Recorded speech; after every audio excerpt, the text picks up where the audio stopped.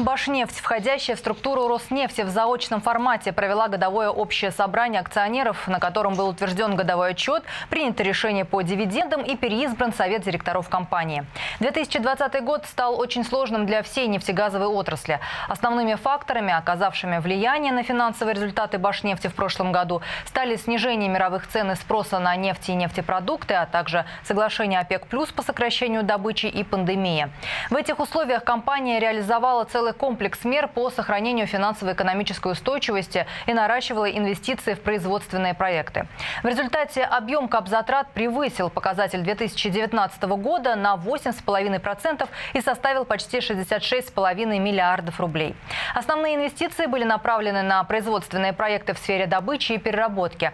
Также в 2020 году компания направила более 5,5 миллиардов рублей на реализацию природоохранных проектов.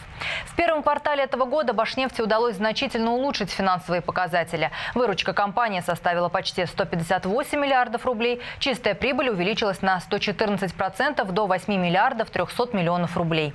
Таким образом, Башнефть успешно восстанавливается после непростого 2020 года и улучшает свои финансово-экономические результаты.